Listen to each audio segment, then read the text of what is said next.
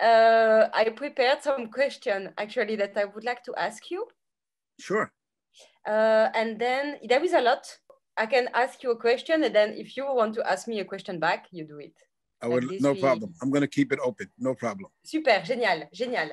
Alors, uh, yeah, the first question is basic: is how are you? I'm doing fine. I mean, I've had some um, challenging days uh, with with some some loss, and uh, and friends and family, and um, and and the loss of some great musicians, Chick Corea and and um, Milford Graves, people that Milford I was more close to. He's a very special percussionist and drummer.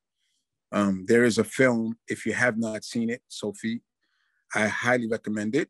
It's called Full Mantis. All human beings and certainly all artists need to watch this film. Okay.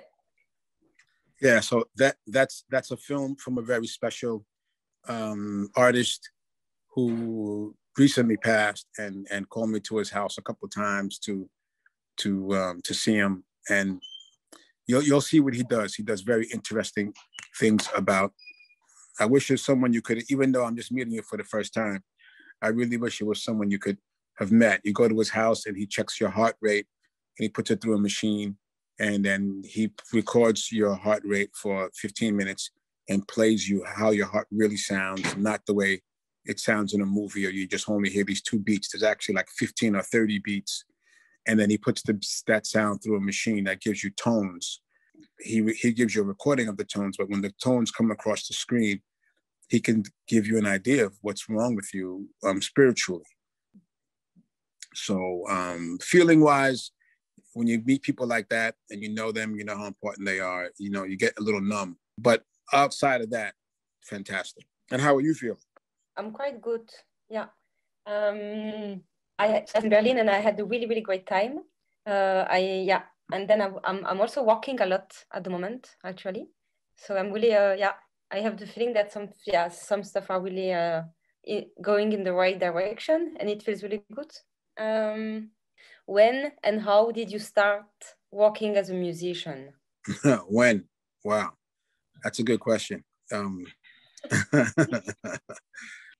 uh, I guess as a musician, technically working with me and getting paid, I'm going to assume. I'm the youngest of three, and I had a lot of art and music in my family and my community. A lot, there's a lot of famous musicians from my neighborhood. I'm in the Bronx. I'm in the Northeast Bronx.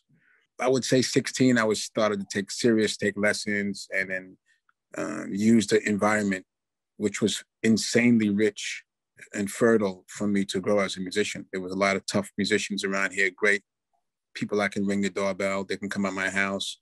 Uh, I would say around there, and and and I think art chooses you. I don't think you choose art. Uh, at that age, before a year or two before, I was really into. Don't ask me why, but I was into motocross racing, something that most African American kids from the Bronx are not interested in. But I was a motorcycle freak. I love fixing bikes. I love the smell of the oil and the gas, working on the transmission. So I like the machine as a as a machine, and racing to me was a really interesting thing because when you're racing, you're inside your helmet and it's just you. And even if somebody's ahead of you, um, you win the races by your time, how fast you can get around the track each time. You get time, you get time. So you learn how to ride this machine without using the brakes. You have to learn how to use inertia and gas and know how to lean on a bike and all of these things that I thought were fantastic. So um, I did that first and then went to the drum kit, which my older brother played. So it was already in the house, but I decided the music bug really bit me hard. I had an experience meeting by accident Miles Davis, and I went to see one other musician. Miles was my favorite musician kind of all time. And I, I walked into a club to see one person, and Miles was happened to be there. Um, he was, no one had seen him in eight years. He was in hiatus and and no one saw him in New York. No one. And, and I walked into the club to meet this famous drummer, and he walked up, he walked past me, and I was completely frozen. And to meet my favorite drummer, and then to see Miles, is when I something happened. It was like intervention. I sold my bike, put the money on the drums. I cut. I dropped all my sports teams. I was a big jock. I like tennis and basketball and bowling and these kind of things. I broke up with my girlfriend and I said I have to practice, basically. So that's really where it started. But fantastic parents, fantastic home, great books, music, theater, international. My my mom was really not into into um, segregation in any way. We had a lot of people in our house all the time. She she started so many programs for immigration when people would come to the Bronx from Eastern Europe, Poland, um, uh, whether Cuba, Puerto Rico, and the children suffered a little bit with the language. She would have the children come over to our house. Our house was like an information center, and this this gave me a great example about art and humanity and people without realizing it. But I had a fantastic surrounding of incredible books and music. Genial. Thank you. Yeah. okay. Um, okay. What's the project that you did that you are the most proud about? Uh, my most proud accomplishment for me is uh, there's a really incredible museum, a new museum in Washington, D. Washington D.C. called the African American Museum of Culture, Heritage Culture. It's a beautiful museum in Washington D.C. and being African American and growing up in this country, there's so much I learned in my home and from my grandparents that isn't in any university or in any classroom textbook or any of these kind of places. So I think this museum is the great, great structure of this information and about how much contributions many children don't know. Now, in our house, we were quizzed on those things. But when I went to school, it was a typical saying, in my opinion, lies about Christopher Columbus and all of these kinds of things that, for me, um, were I was shocked as a, as a young student in school to hear people were saying things like he discovered America. Or, so the museum is an amazing institution, and Living Colour was invited. The band that I play with, Living Colour, um, winning the Grammys or one of those kind of things, have can't hold a candle to being invited to this museum with my colleagues. I'm on the floor with a lot of rappers and a lot of artists, people that I grew up with. And it's an honor to be in the museum and to be there for doing what you love. Super. So, um, and um, do you often go to see like dance or performance pieces? Oh, very often. My sister is a dancer. She she taught many years at Ailey's dance group and uh, Forces of Nature. So I grew up with this in the house. So I go often. Hers is, is more African based, but I also love ballet.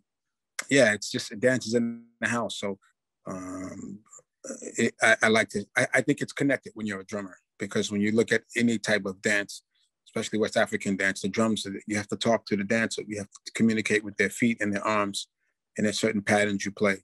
Mm. Um, thank you. And uh, I wanted also to ask mm. you your relationship uh, with the city of New York, because I've never been to New York. Wow. Well, it's the city I'm born in. And um, um, my relationship here is complete love. And it's my it's my laboratory of life. And having the experiences that I have here have prepared me to go to Berlin and to go to Morocco and to go to Senegal and to go to Paris and to go to Brussels. Being here in such a cosmopolitan city, I never felt I was really foreign in places because growing up in New York, you hear other languages, you hear German and French, Spanish and Italian, you know, you hear all these different languages. My relationship to New York is really, um, I call the Bronx God's country, just to give you an example. this is my Garden of Eden here, being here, and what I've learned and what I've experienced here. So um, it's a it's a nice home base. To, the best way, Sophie, to describe it. It's a, it would be like it would be like going to your family reunion or going home to your family and seeing your parents and your grandparents, and you don't have to behave mm-hmm. a different way. You know, they know what you like to eat. They know what you.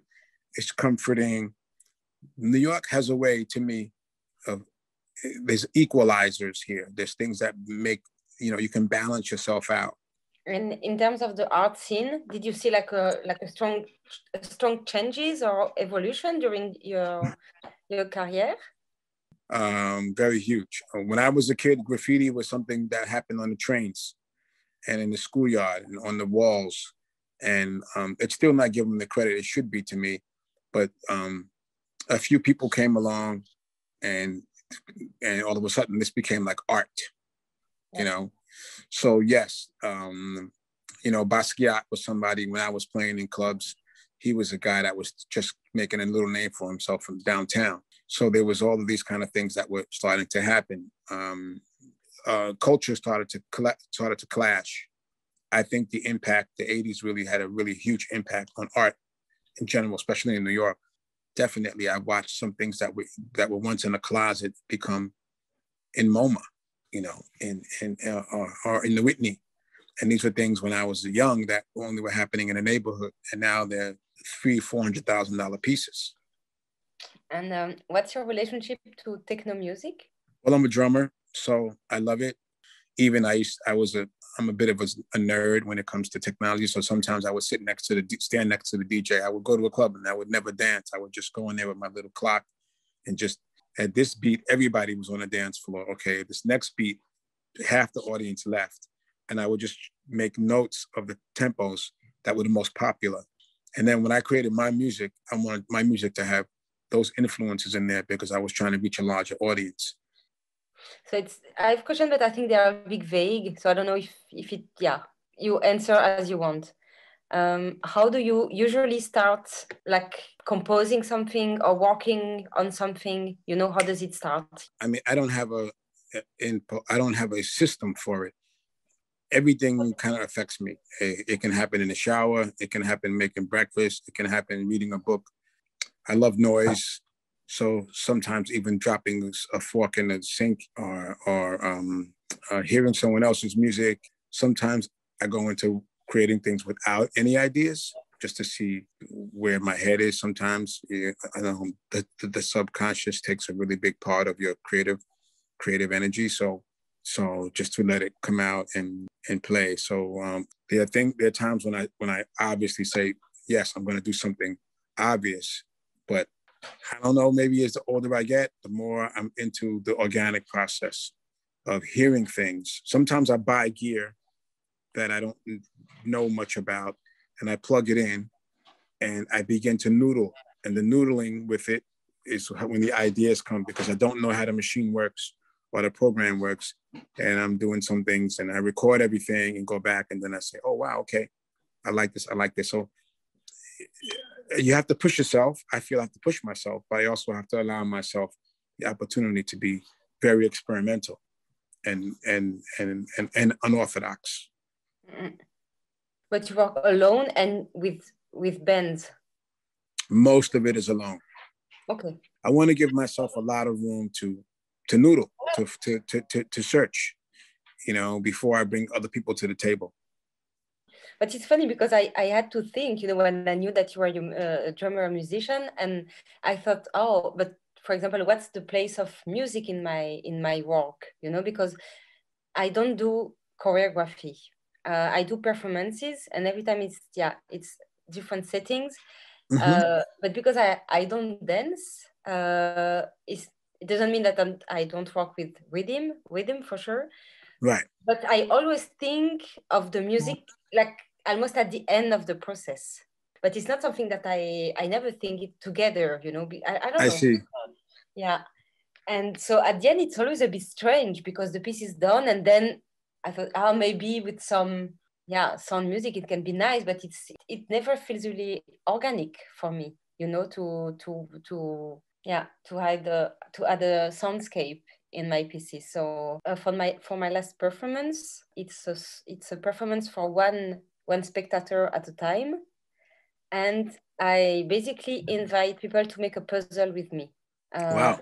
Uh, and so uh, for this, so I imagine the performance and the, the setting and everything.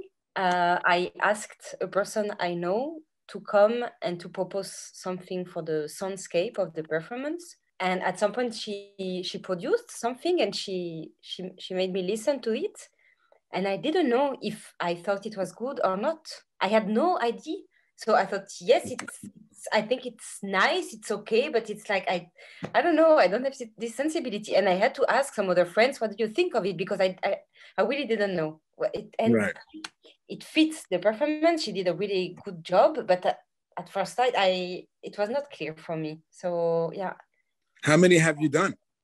Four pieces so far, and I'm quite slow actually. You know, the pieces I'm doing now, it's on the practice of tennis. And uh, I think of this performance since two years. So since two years, it's in my head. And then I have to find residencies. I have to find budget, money, partners. So Yeah, it takes a, right. a lot of time, but it's also fine because I must say I like walking, but not too much. I think I like when I, I, I have it under control and I can still do a lot of other things. Uh, my social life is really important, and yeah, so I yeah You're not married to it, and and you're and you're not. That's not your survival income. That's not what you're making a living off of. Correct? yes Or- no no yes I do okay, you do. Yeah. yes Okay, so that's so then, like you said, then it's just a choice. yeah I think it's um I yeah I manage actually to earn enough money doing my project, but I also give give myself clear fra- frame, you know. So Yeah. I'm working a bit all the time. Like I am, I always have a lot of project to do, but I I managed to yeah I don't know to work on them, but not too much. So it's a yeah it's No, it's great. It's it's everybody has their has their kind of position on. There's no kind of a way of you to say you're working too much or not enough or a, the art kind of dictates that I think and what you what you how, how you want to do it is very very very important.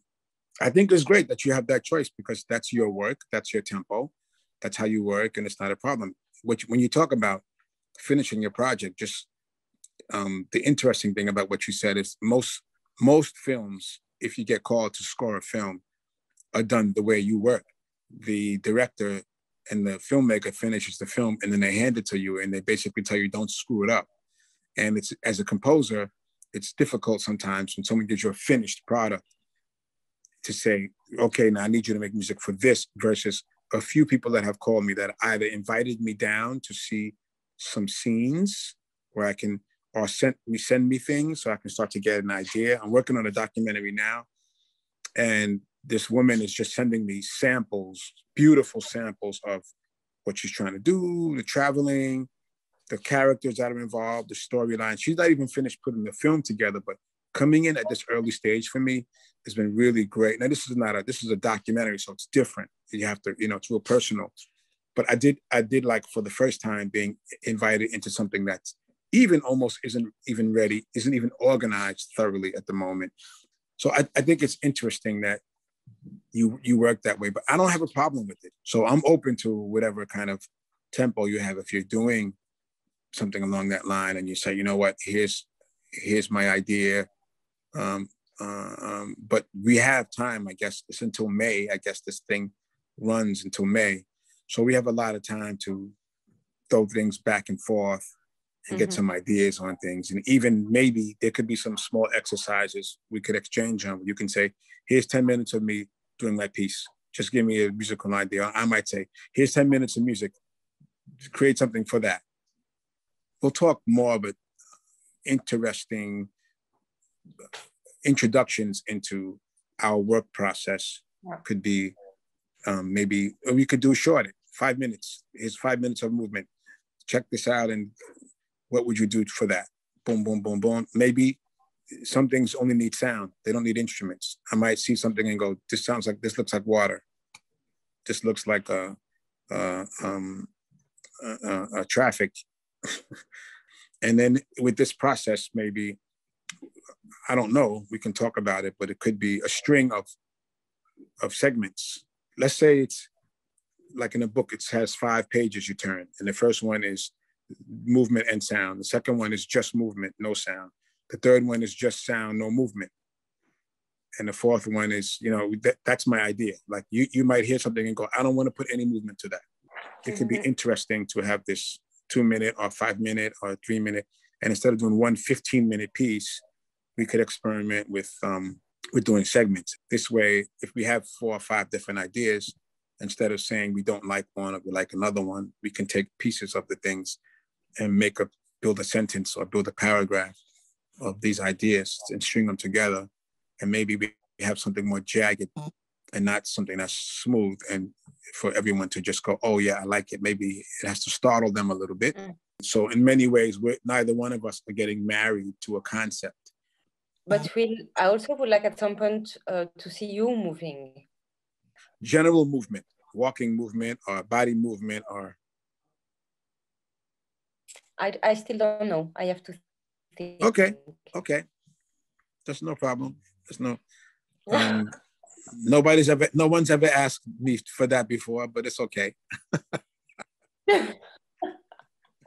yes, because I also thought maybe it it can also be um, an opportunity to do things that you are not not used to.